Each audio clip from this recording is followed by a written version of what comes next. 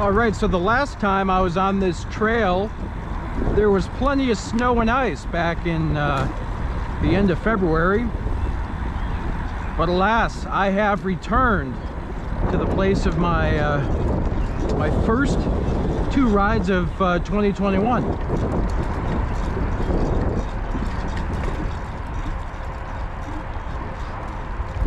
It's truly amazing what nine weeks can do everything is getting to be in bloom